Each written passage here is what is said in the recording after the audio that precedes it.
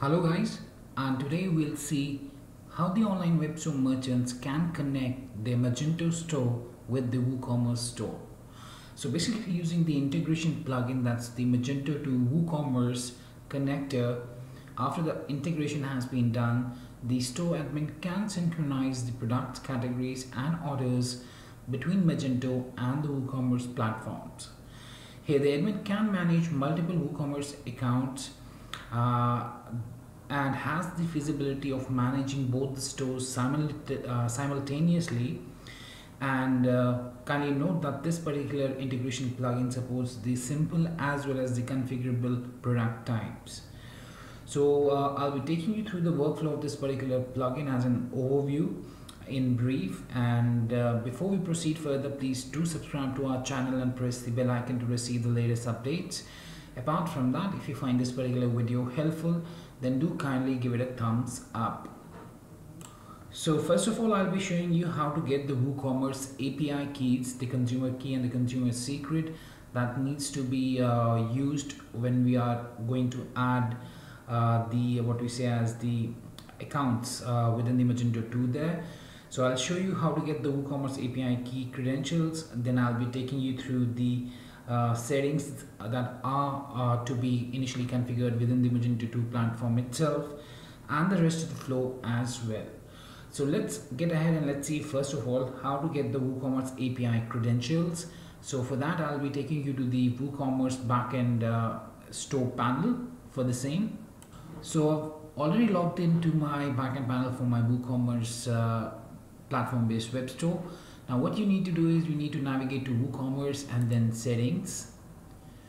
On the setting page uh, after the emails there's an advanced tab. So right now I have a limited access on this account so that's why it's not visible. So I'll just take you to the user guide and show you how you can get the uh, credentials there. For more details, you can check our user guide and the live demo that I've attached uh, within the description of this particular video itself. So here you can see that after the emails we have the advanced tab. Tap on the advanced tab and then go to the REST API. Then you have to tap on the add key link that you can see and that brings up this section wherein uh, we'll have to set up the REST API key details. So you will have to enter your uh, store description, uh, the user and choose the permission then tap on the generate API key and this will basically generate the key with a particular message as you can see here. And you'll have the consumer key and the consumer secret. Now these need to be uh, used uh, while configuring the WooCommerce account within the Magento 2 uh, platform based web stores backend panel. So now let's hop onto the admin backend panel in the Magento 2 platform based web store to check the rest of the settings there itself. So here I'm at the backend of the uh, Magento 2 web store so I'll be logging into the backend by entering my username, password and then tapping on the sign in button. So first we'll see the initial configuration settings and then we'll come to adding the WooCommerce accounts here within the Magento 2 store itself. So after we have successfully installed and uh, uh, to configure uh, the particular plugin, uh, we'll, what we'll do is we'll navigate through stores, then configuration, on the configuration page on the left hand side under the Webkul block, we'll have to navigate to the WooCommerce connector. So just tap on that and that will bring up uh, the general settings for this uh, plugin itself. So here we have the general settings and we have three different settings to configure here. So we'll go through each of them one by one. So the very first option here is a yes or a no for the allow uh, default value. So if this option is set to yes uh, or what you can do is if you uh, for example you have to set yes so as to allow the use of the default values for the imported products whose values are imported empty. Otherwise you can set it as no so as to not allow the use of default values for the imported products whose values are imported empty. Okay? Then you have the product delete from catalog so you can set yes to allow the product deletion from the Magento catalog if deleted from the imported product list. Otherwise, if you set no, then uh, what it will do is it won't uh, allow the product deletion from the Magento catalog even if it's deleted from the imported product list and uh, then lastly we have the export product on default account so whichever default account you have uh, already chosen the products would be exported uh, on that particular account itself. And at the time of order export if the product doesn't map then you'll have to uh, create the product uh, first at that particular account itself. And after configuring these three uh, settings here you'll have to tap on the save configuration button. Now you will also find on the side panel we have the WooCommerce Magento Connect option wherein we'll be able to manage the WooCommerce accounts. Now let's go ahead and let's see how we can manage the WooCommerce accounts within the Magento 2 platform based web store using this uh, Magento 2 WooCommerce connector. So I've tapped on that and that will bring up the complete list of uh, WooCommerce uh, accounts that we have already added. So you can see that I've already added one uh, store name that's the WooCommerce Magento 2. Kindly note that while you're creating or you're adding a new uh, WooCommerce account here, the store name that you uh, enter for the first time will always be the same for the lifetime of that uh, store itself. So kindly mention that uh, very uh, very carefully. So from the action now drop, drop down, you can delete any of the created WooCommerce accounts you can edit any of the accounts by tapping on the edit link under the actions column apart from that to add a new uh, WooCommerce account you can tap here on the add WooCommerce account button and that will bring up the uh, section wherein we'll be able to set up the uh, WooCommerce account itself. So this is the uh, new WooCommerce account creation page. So right now you can see that we have the WooCommerce account and we have the WooCommerce account information. Now the API key that I showed you initially uh, needs to be entered here under the consumer secret and the consumer uh, one other other consumer secret key. So here uh, what you need to do is for example for the first time it is only having this one option that's the WooCommerce account information. So you'll enter your store name, you'll set up your store URL, choose the attribute set for the same, enter the consumer key and the consumer secret here. And then uh, you need to tap here on the save and continue edit. Now after tapping the save and continue edit we'll have uh, a few number of uh, more options here under the WooCommerce account information as you can see. So uh, let me uh, show you how uh, those options appear for the one for the account that I've already created. So I'll just take you back to that particular listing page where we, we find all of the edit WooCommerce accounts. So I'll be editing this WooCommerce Magento 2 account here. So I'll tap the edit uh, link under the actions column. So here you can see that uh, the store name cannot be changed once we have uh, saved it. Uh, here's the uh, store URL here's the attribute set that we have uh, chosen. The consumer secret and the other key the key and the consumer secret key has been entered. And then after you tap on the save and continue edit these are the options that are the WooCommerce general configuration category mapping, import products from WooCommerce, import order from WooCommerce, and export product to WooCommerce appear uh, as you can see right now. Now let's uh, check the other options that we have. So let's go to the WooCommerce uh, general uh, configuration first. And uh, here, uh, let's see what different options are, are there. So the very first one is the default category. So from the drop down, you can choose a default category. So here you have to select the default category of the Magento 2 store for assigning to the WooCommerce products. Then we have the store view. Here you will be uh, choosing the default store view of the Magento 2 for order synchronization. Then we have the default website. So you'll have to choose a default website uh, where uh, the products would be assigned to.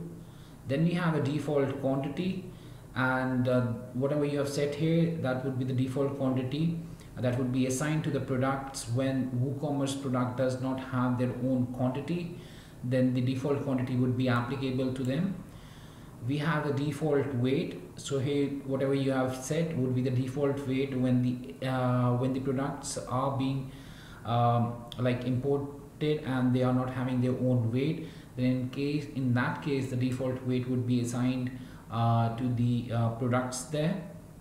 And lastly we have the default order status. Here you will have to choose the uh, status that would be assigned to the imported orders. So you can choose that according to your own requirement now after the WooCommerce general configuration we have the category mapping so uh, here the admin will map the Magento 2 store categories with the WooCommerce store categories by clicking on the map category button as you can see. But before that, uh, you can see we have already uh, uh mapped some of the Magento categories with the WooCommerce categories as you can see. So here we have the Magento ca uh, category ID and the WooCommerce category ID as well. Now, for example, I want to uh, to uh, map the store category men that has tops and has uh, t-shirts with the WooCommerce category. So I'll choose men. According to that I'll choose clothing. Then I'll choose tops for them. You can choose the uh, attribute ID that you want to apply so after doing these things uh, I'll have to tap here on the map category button. And that will map the particular category there. You can see the top is uh, being uh, uh, synchronized uh, with the, top other. So that's how you can uh, basically map the categories. Kindly note that only one category can be mapped at a time and you cannot map the parent categories. So you need to select the subcategory for the mapping there so you'll have to keep that uh, particular thing in mind. And after you've uh, mapped the categories you'll also see a success message and then that uh, mapped category would be visible here under this particular list. And then you can check that up as well as per your requirement there. Now after that we have the import product uh, from WooCommerce. So here you can import the products from WooCommerce into your Magento 2 web store so I've already uh, imported some of the products there. Now to import the product what you can do is you'll have to select the product tap on import product and uh, this would uh, create the product in the Magento 2 database. But uh, here you can see that the product has been imported in your store from WooCommerce. Now you need to tap on the create imported products button. So after this you'll have to tap here on the create imported product button this will start running the profile as you can see. And here you can see that total 61 products are to import. 2 of 61 have been imported already. So after importing and then tapping on the create uh, imported products a profiler would run as you can see and it would start creating the products. First import product then create imported products. And this uh, profiler would appear onto the screen and then you can see that the products are being created so it will take uh, some time there for completion. And after the completion you will see a success message as well. Now after these products have been uh, imported the same would then be visible here under the same list. Here. So I actually uh, uh, forgot to tell you something. Here you can see that uh, we have skipped the Woo logo uh, product because that already exists that we have already imported. Now one thing is there that uh, to import the products you can directly tap here on the import products uh, button. Uh, actually I showed you that we need to check a product. No these are the imported products that we have imported from WooCommerce into the Magento 2 store. So uh, to import the products you just need to tap here on the import product button. A pop-up will will, uh, will appear. Tap ok on that. Then tap on the created uh, create imported product button and then the run profile layer will start running up. So you can see that uh, around 20 of uh, the products have been uh, imported. Some of them are being uh, skipped because they have uh, already they are already existing there. So that's why they have been uh, skipped. So if I go here we can find those products as well. So that's how you can import the products from WooCommerce into your Magento 2 web store so it's still running and it's uh, taking a bit much of time. So let me close it down for some time. Now if I scroll down here you can see that now this list contains more products. Initially there were not the uh, this much of products uh, when we came into this particular section. We had a red uh, shoe at the last but now you can see a new product premium quality Woo Ninja Woo logo is there Woo album Woo singles and the other products are also there. So that's how you can easily import the products from WooCommerce into your Magento 2 web store. Now comes the other part that's the import orders from WooCommerce. Now the same uh, goes for this as well. We'll have to tap here on the import order button. Here are the ones that we have already imported from the WooCommerce into the Magento 2 store. These are the orders of the uh, WooCommerce. Now this pop-up has appeared. Tap OK now tap on the create imported orders. Uh, and this will start the profiler and it would start creating the orders in Magento 2 uh, the same orders that have been uh, placed there within the WooCommerce store.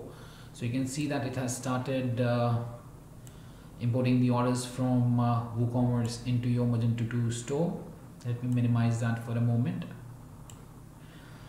and lastly then we have the export uh, products to WooCommerce. So here what we can do is we can export the products that we have within our store to WooCommerce. So these are the Magento 2 products as you can see.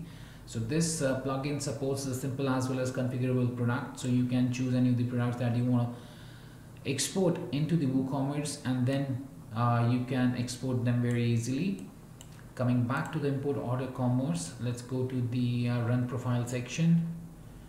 Okay it's still running.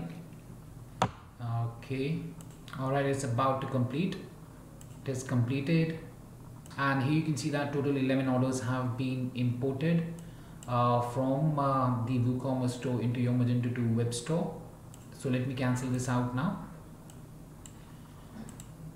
Now lastly uh, if I come back to the import orders from WooCommerce section initially we had only three orders but now you can see that we have uh, imported more than three. A lot of orders have been imported 11 orders have been imported and these are visible here as you can see. And lastly we have the export products to WooCommerce option as I've already told you now uh, let me show you how we can change the assigned category of the imported products from WooCommerce. So I'll go to the import product from WooCommerce. For example I want to change the category for this one. So from the drop down I can choose assign to category. I can choose the category from the drop down and then I can tap here on the uh, submit button to change the category. So initially it's in the fitness equipment. I can change it as well. So let's check that out and now you can see that we have a success message as well as the daily supplement capsules were first uh, under the fitness equipment but I changed it to jackets. Now let's change it once again. And let me take it to tees okay let's submit it up.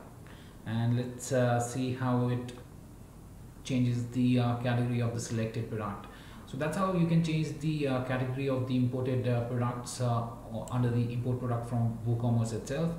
So now you can see that the daily supplement capsules are under the uh, tees category.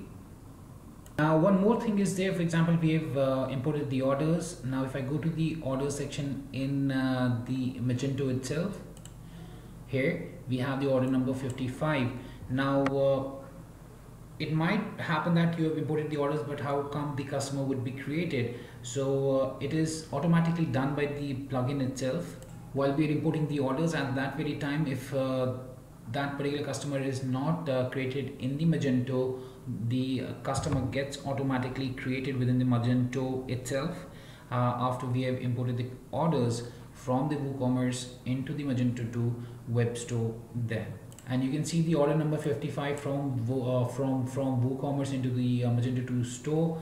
And here we have the account uh, details of the customer. That's the customer name as John Doe. The email is there and the customer group is as well available there.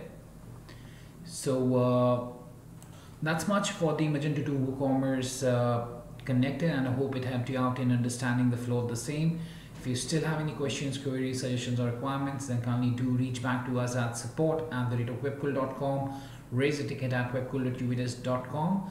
Apart from that, if you find this particular video helpful, then kindly do give it a thumbs up. And lastly, thanks for watching this particular video and have a great